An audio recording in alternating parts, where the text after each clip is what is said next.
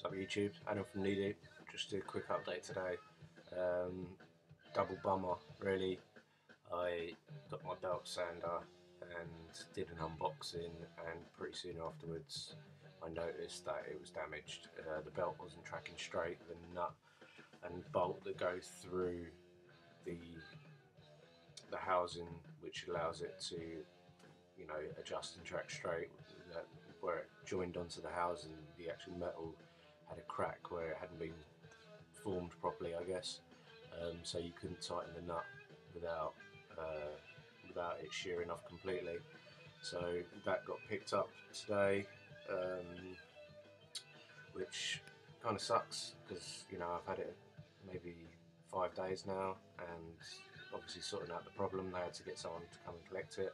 That took another two days. It, because it's the weekend tomorrow, it won't get seen till Monday at the earliest and then maybe I might get a new one hopefully by the end of next week. So bummer. Second bummer Dremel has given up as well. It was the cheapest of the Dremels. Um, I'm getting a new rotary tool which has been ordered. Um, hopefully that will come in next week. Um, no guarantee on that. So I've just been stockpiling uh, handle materials uh, liners and um, I've used up most of that uh, huge slab of steel you might have seen in the last video. Used up most of that on um, cutting profiles. Um, got some cool designs coming up. Um, got a batch of the hangnails coming up for anyone that's interested in one.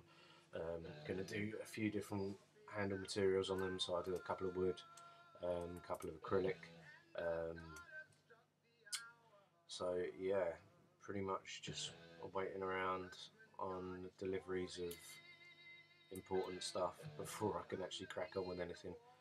So uh, that's pretty much it. Just wanted to let people know that I'm still around. Um, I haven't been on the computer for a few days, so I've got a few videos to watch and catch up and you know uh, bits and pieces. But I am still here. I'm just waiting on important stuff. Never mind. Hope everyone had a good Easter and I'll catch you all soon. Take care. Bye bye.